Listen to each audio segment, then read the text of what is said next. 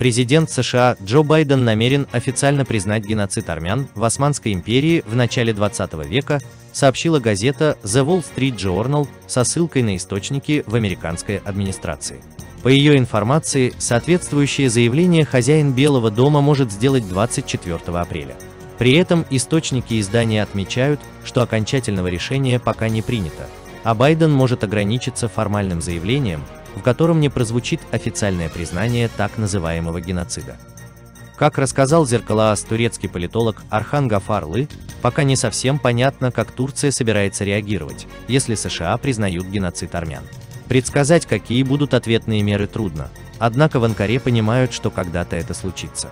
Безусловно, это отрицательно повлияет на отношения США и Турции, но я не думаю, что это как-то будет влиять на отношения Турции и НАТО, потому как это не вопрос НАТО, Однако тут вопрос в том, что даст США признание геноцида армян, сказал политолог. В свою очередь турецкий аналитик Энгин Азар напомнил, что Россия, Франция, Германия и еще несколько государств признают геноцид армян.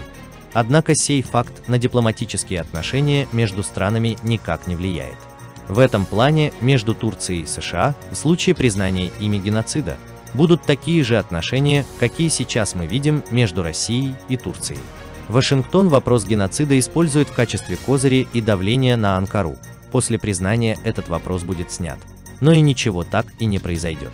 Однако однозначно можно сказать, что да, сейчас отношения испортятся, но в среднесрочной перспективе все наладится.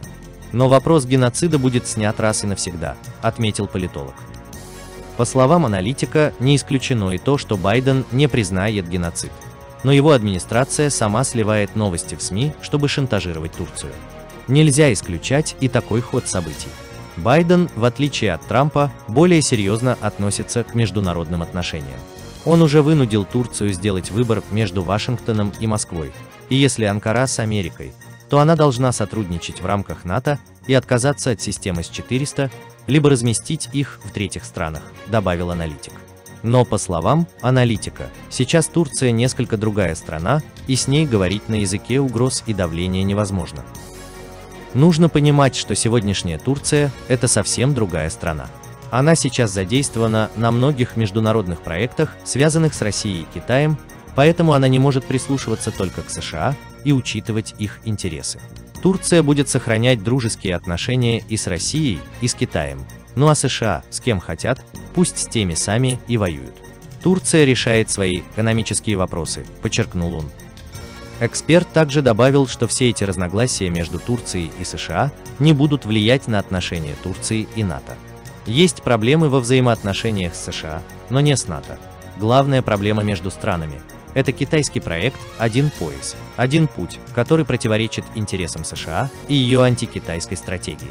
С другой стороны, есть разногласия между странами в видении сирийского вопроса. У Турции свой взгляд на решение этой проблемы. Кроме того, США раздражают и взаимоотношения Турции с Россией. В Вашингтоне считают, что Анкара должна быть в антироссийской коалиции, но для Турции национальные интересы важнее, чем мнение Вашингтонского обкома, резюмировал он.